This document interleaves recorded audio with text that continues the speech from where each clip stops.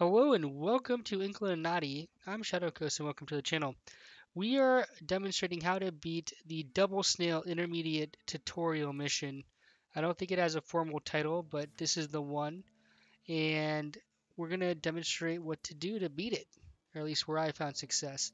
So the cheapest unit we're going to drop right here, a dog with a sword, sirloin, and then we're going to actually move this snail all the way over.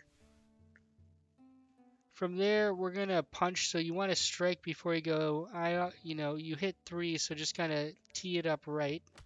Get some damage on them. And then we're going to swat the closest one. From there, we're going to move our Inkulinati past this barrel. And this is important.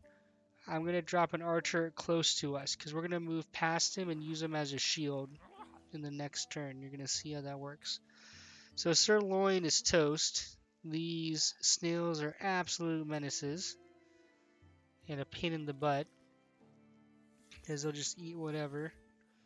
And this is where some micro skill comes into play. We're going to triple target and we're going to try to take out the snail. So we're going to take our time.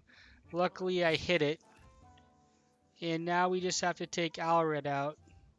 So he's going to munch on that thing. We are going to move him back.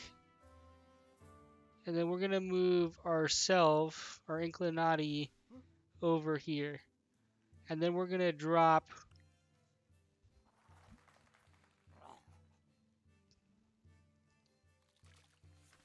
another unit here. And you're going to see why. So he's going to come up. He's going to munch on Sylvester. Oh, he's going to knock Sylvester off the side, which was really smart. Now, this is going to become somewhat problematic. Um, we are going to have to kind of come over here and hit him. So we're going to hit him for 7. The nice thing here is we do have SWAT on cooldown to finish him off. Um, if he had eaten him and taken that spot, we would have pushed him over. So there are a few ways to beat this, but that's how you get it done. Hopefully you found this video helpful. If you did, drop a thumbs up and hope to see you in future videos. Shadowcoast out.